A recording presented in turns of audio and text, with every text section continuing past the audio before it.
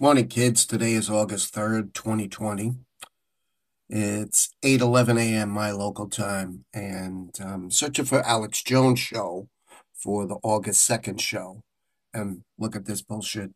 One, two, three, four, five, six, seven, eight, nine, ten, eleven, twelve, thirteen, fourteen, fifteen, sixteen, seventeen, eighteen, nineteen, twenty.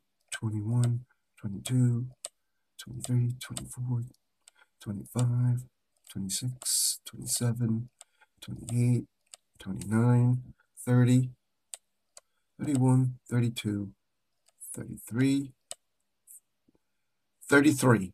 Took 33 times to find one of the shows to uh, download it. And um, this is unbelievable talk about shadow banned. This is the bullshit that Google owned YouTube does.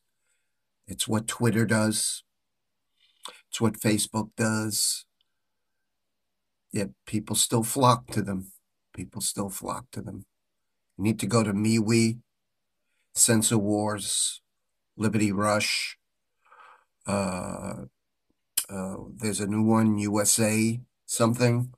Um, you can basically, uh, within reason, do pretty much what you want there. There's no snowflakes, no bullshit there. Of course, if you advocate uh, illegal things, say to do illegal things, you're going to get knocked off there.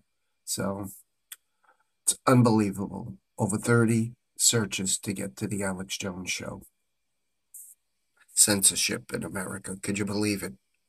Time to uh, rein in these tech giants.